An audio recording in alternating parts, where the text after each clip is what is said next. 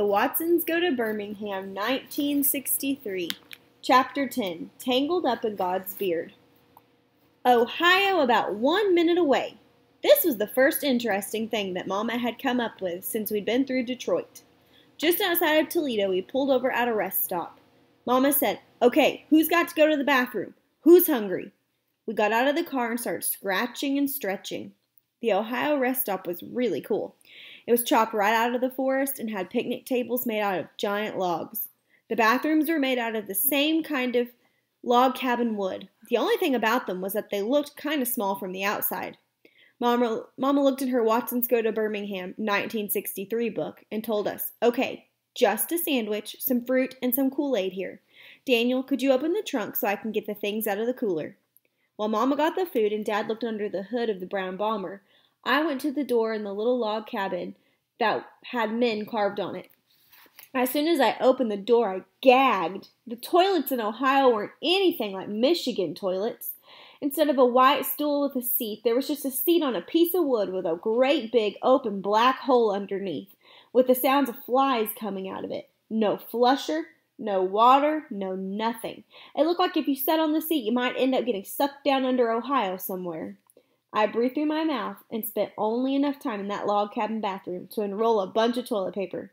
The woods outside looked a whole lot better, like a whole lot better bathroom. When I was done in the woods, I passed Byron, who forgot again about his promise not to talk. He told me, Man, they must be crazy if they think I'm to set my behind on that hole. By's hands were full of toilet paper, too. We ate our lunch on one of the picnic tables, and Mama made a jug of Kool Aid with water that me and Joey pumped. Only Mama liked it, though. The water seemed like it had metal in it and made Kool Aid taste like great medicine. Me, Dad, By, and Joey dumped our Kool Aid when Mama wasn't looking. But I had to ask for seconds and plug my nose and drink it because day one was my day to have peanut butter and jelly, and Mama always puts too much peanut butter on the sandwich. And you've got to have something to wash it down in case you start choking. When we finished eating, Byron asked, What's the word on them toilets? Mama and Dad cracked up. So you like those, huh? Dad said. Mama said, You better get used to those, Byron. That's an outhouse, and that's what Grandma Sands has. What? If you try to be cool all the time and something surprises you, you sure do look stupid. Uh huh, Dad said, and that's where you're going to be taking care of your business for a while. By said, Wait, let me dig this. You mean if I gotta go to the bathroom, I gotta go outside into a little nasty thing like that? Ain't they got no sanitation laws down there? How you gonna have a hole for a toilet and not get folks sick? Don't them things attract flies? Mama and Dad laughed again. Mama said, Your Grandma Sands always says it seems a lot nastier to, for her to be doing that in the house. The way she looks at it, a house is a whole lot nicer place if the facilities are outside. Ooh, I remember those outhouses, Dad said. I remember when we used to go visit my grandmother in the country, and there would be a Sears catalog in the outhouse, and when you were done, you just tore a page out of the catalog, and we get the point, Daniel. Mama stopped Dad. After lunch, By went back into the log cabin outhouse and came back with his pockets bulging with toilet paper. He told me, Man, they must be on dope if they think I'm going to wipe my butt on some rough old catalog paper. We loaded the cooler in, back in the car and got back on I 75. When you're 10 years old, like me, some of the time, no matter how excited you are and no matter how hard you try, you just can't help falling asleep in the car. I did a lot better than Joey, though. She was out before I'd even sucked all the leftover peanut butter out of my teeth. She stretched out across the back seat, and me and By argued who would hold her head and who would hold her feet. Joey drooled a lot, and so it was the worst job to hold her head. We had teased Mama so many times about planning everything so much in her notebook that By decided to be cute and asked, uh, could someone check the Watsons Go to Birmingham book and see who's supposed to be holding Joey's leaky head for the first hundred miles to Ohio? Mama and Dad looked at each other and laughed, and I did too. I really don't know why bullies have such a good sense of humor. It didn't matter who won the argument, because the car started rocking me to sleep. Maybe someone could say the brown bomber was old and ugly, but you could never say anything bad about its seats. They were the best things in the world. I leaned my head back and I watched Ohio go zipping by. And I couldn't keep my head from sinking deeper and deeper into the brown bomber's seat. I woke up and got real nervous real fast. I felt something wet in my pants and started that started to run down my leg. I opened my eyes and said, Whew! It was just Joey drooling all over me. I complained and Mama made By take Joey's head for a while. I took her shoes off for her, and inside one of her shoes was a kind of worn down picture of a little white girl with a girl's hairdo, a little white boy and a girl's hairdo, and a smiling dog. In a circle around both of them it said Buster Brown. As I drifted back to sleep, I wondered what a little white boy would think if he knew he was getting stepped on every day by my sister. Then my neck got rubberized again and my head nodded down. It nodded back up when I heard Mama say real soft to Dad, How you doing? Cincinnati's just ahead. Oh, I'm fine. I've still got a lot in me. I think I'll just stop in Cincy for a stretch and some gas. Really? Mama didn't sound too happy. Sure, why not? The kids are all asleep, and you look like you're about gone yourself.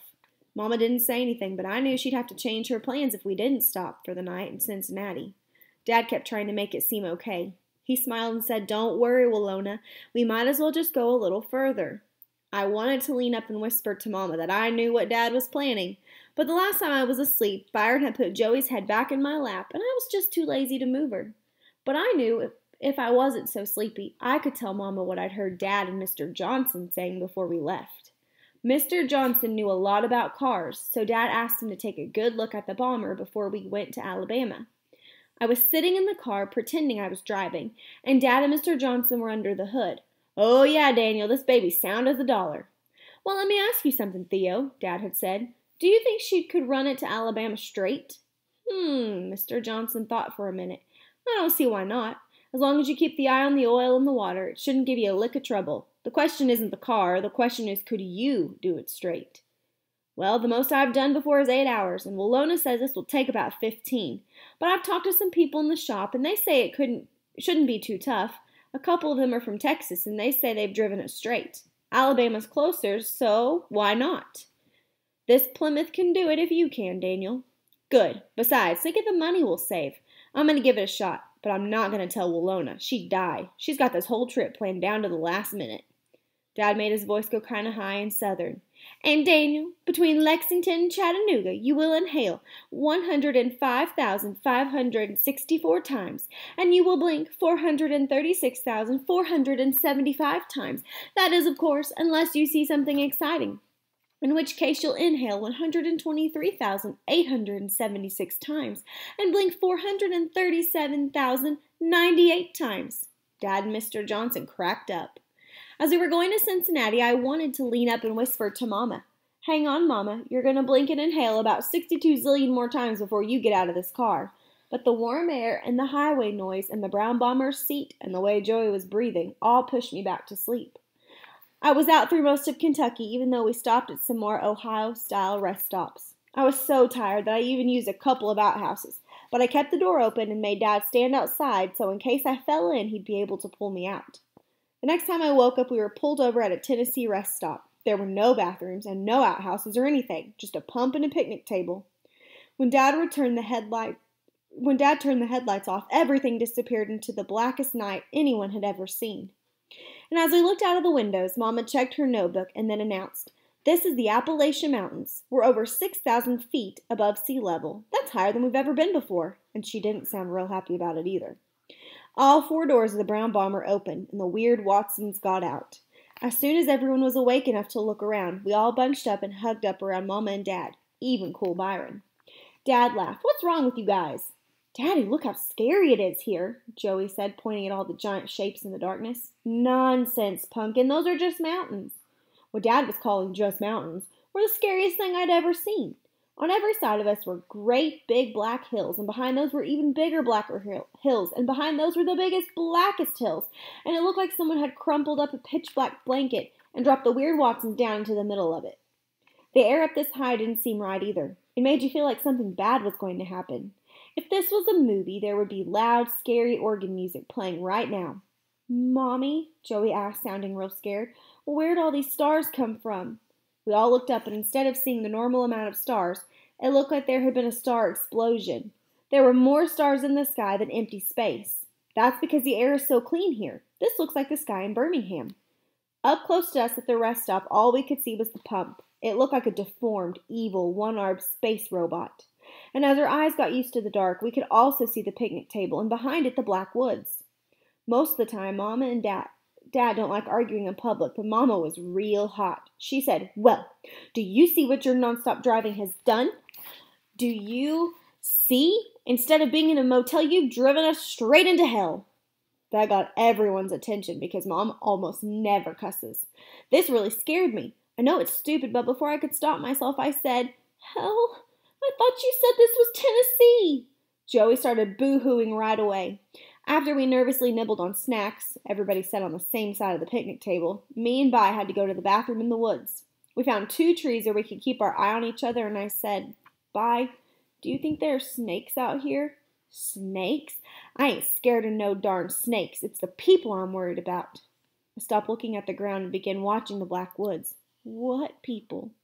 I wish I'd picked a tree closer to Byron. Didn't you hear Mama say this was Appalachia? So? Man, they got crackers and rednecks up here that ain't never seen no Negroes before. If they caught your butt out here like this, they'd hang you now and then eat you later. What's a redneck? A hillbilly, only worse. Some of of 'em don't even speak English. We made a break for the brown bomber. If Byron was trying to scare me, he was scaring himself too. I went too fast though, and I felt a couple of warm drips dribbling down my leg. This time I couldn't blame it on Joey's drooling either, but I didn't care. Having a little pee in your pants has to be better than being dinner for some redneck. We loaded the car back up, and no one really relaxed until Dad drove back out onto I 75 and turned the headlights on. The lights knocked some of the darkness out of the way, and we felt safe again. Everybody was better and laughing and talking a mile a minute. Can't believe how this air feels, Dad said. He was right. Everything smelled light and green. Whose turn is it on the Ultra Glide? Mine, I yelled, and I handed Mama Yakety Yak, and they all moaned. Dad stuck his head out of the window just as the song came on and said, Feel that coolness? It feels like you're running your fingers through silk. Me, Mama Joey, and even Daddy Cool all did what Dad told us to do, and Dad was right. It felt great. Wiggle your fingers in it, Dad said. We all did, and the air seemed slippery and cool as it blew in your hand. We're so high and the air is so perfect that do you know what I think we're doing? Dad asked. What? I think we've got our finger in God's beard, and as we drive along, we're tickling him. Byron acted like he was going to throw up. And as we drove down the mountain with our arms sticking out of the windows and our fingers wiggling in the breeze, I thought about the brown bomber, that it must look like a bug lying on its back with four skinny brown legs kicking and twitching, trying to put it back on its feet. Whatever we were doing was the best part of the trip so far. What could be better than driving on a mountain while Yakety Yak played and cool light air blew all over you?